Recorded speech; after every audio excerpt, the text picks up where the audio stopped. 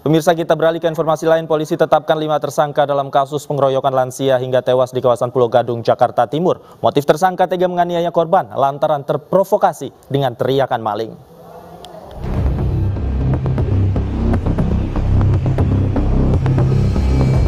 Polda Metro Jaya dan Polres Metro Jakarta Timur meringkus lima pelaku pengeroyokan lansia berusia 89 tahun yang tewas karena dihakimi masa dan dituduh maling di kawasan Jalan Pulau Kambing, Cakung, Jakarta Timur minggu dini hari lalu.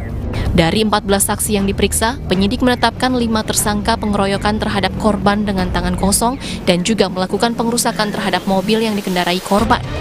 Kabit Humas Polda Metro Jaya Kombes Ed Zulpan menyatakan para pelaku menganiaya korban murni karena terprovokasi usai korban diteriaki sebagai maling mobil.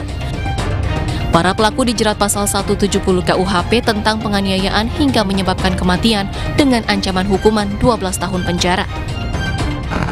Sementara hasil pemeriksaan kita seperti itu ya, dan dugaan serta pengakuan para tersangka demikian. Namun demikian seperti saya sampaikan tadi bahwa penyidik tidak berhenti sampai di sini untuk menangani kasus ini.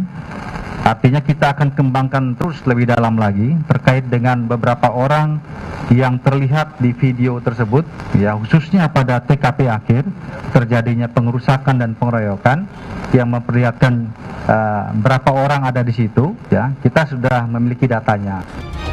Sementara itu jenazah korban Wiyanto Halim dikremasi di rumah duka Grand Heaven Fluid, Jakarta Utara. Tim Liputan iNews melaporkan.